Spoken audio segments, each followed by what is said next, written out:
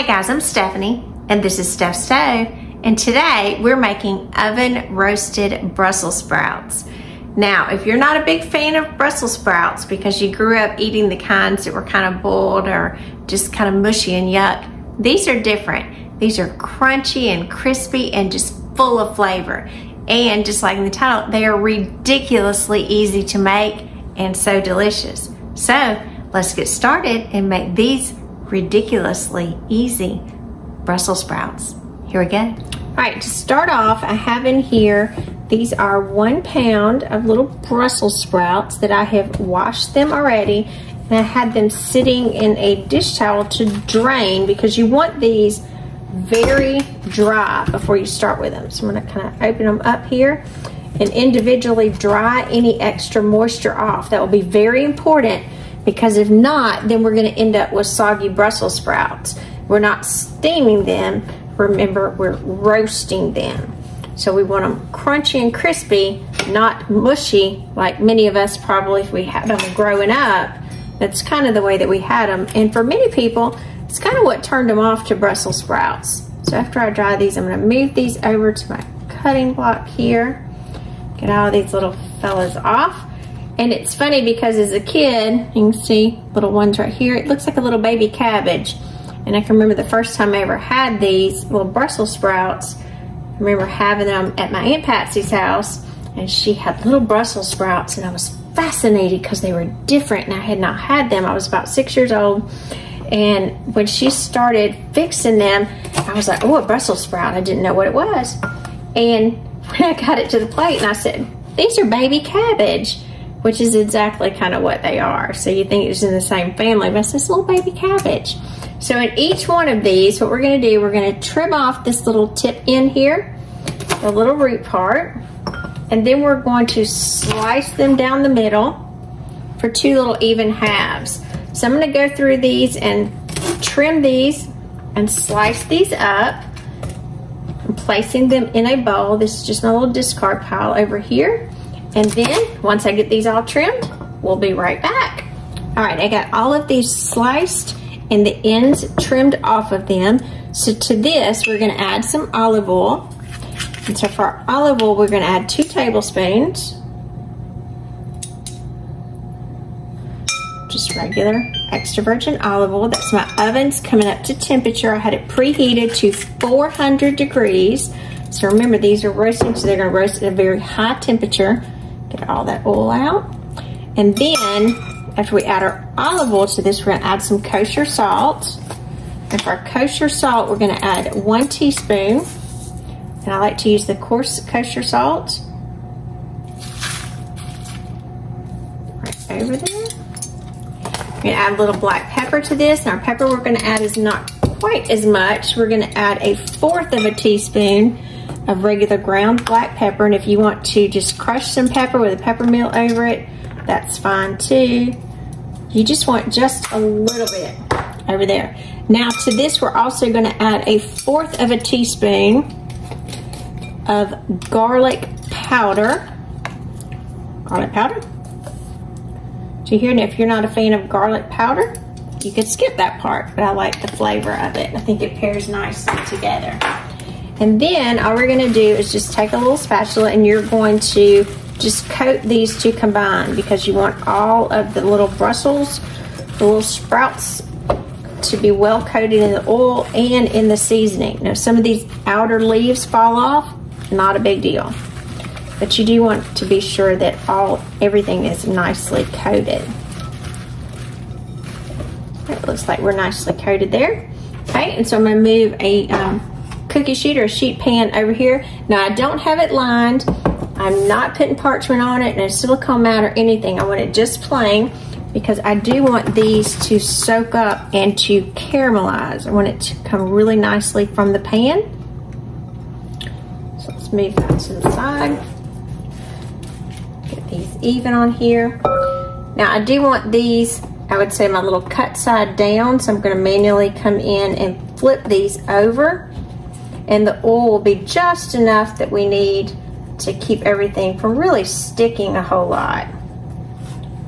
Just make sure all of these are down because on this side we want this nice caramel crust to develop. And again, I've got some little leaves that come off.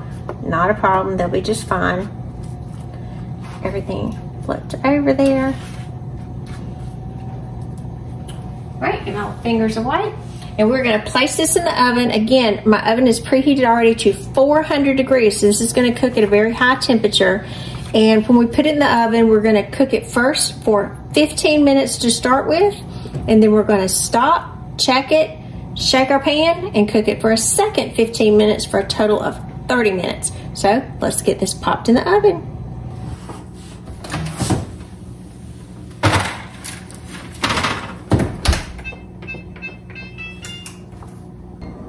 All right, it's been 15 minutes. So right now we want to go ahead and open it. Ooh, we got one flipped over. And we want to flip him back. Hey. And at this point, we just want to come in and give it a shake. And I apologize, it's a little noisy. again, we want to give it a little shake, kind of move them around just a little bit. But we're not turning them because we want that nice crust to develop go ahead get a little spatula to do some of these to get these moved. Because you don't want them stuck but again you want that caramelization to start. And you can see our exterior leaves are already getting really crunchy which is what we want. So this is where that the flavor will develop more. And all of it crispy and just delicious. Try to spread them out just a little bit them too close to each other.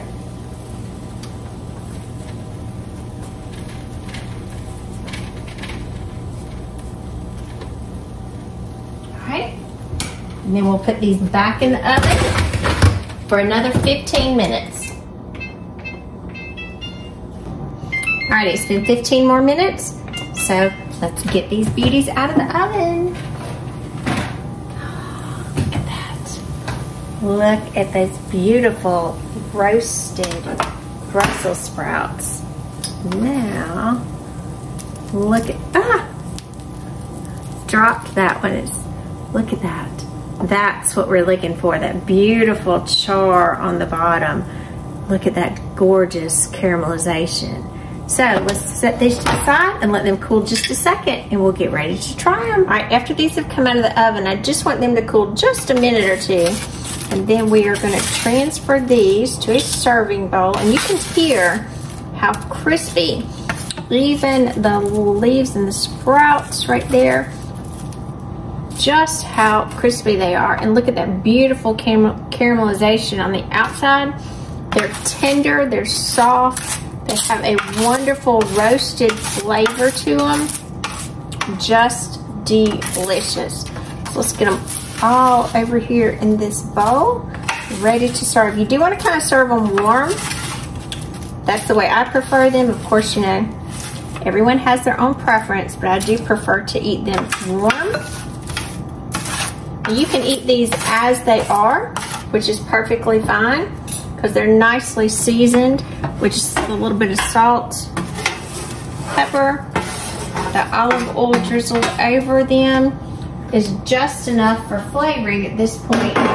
However, if you would like just a little bit more, isn't that beautiful? If you'd like just a little bit more flavor, I've got some Parmesan cheese here that I'm gonna grate over the top.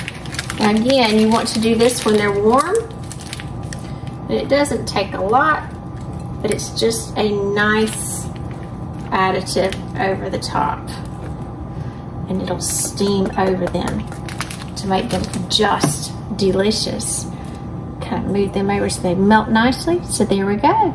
A ridiculously easy roasted Brussels sprouts. I'm Stephanie and this has been Steph's Stove for today. We made these, what I like to call ridiculously easy roasted Brussels sprouts. Now, if you're not a Brussels sprout fan, this dish may change your mind. It's not the ones that we grew up on that were mushy, without flavor, and really taste like cabbage. These do not. They're roasted, crunchy, caramelized, just delish. That's so good. Mmm. Mmm, mmm, mmm. Tender when you get on the inside. Just delicious. So, I do hope you give this recipe a try. And if you're not already a Brussels sprout fan, again, this one may completely change your mind. So remember, give us a thumbs up. Click that subscribe button for more great content like this. And remember, Steph's Stove, we're making memories one dish at a time. Thanks for watching, guys. Have a great evening.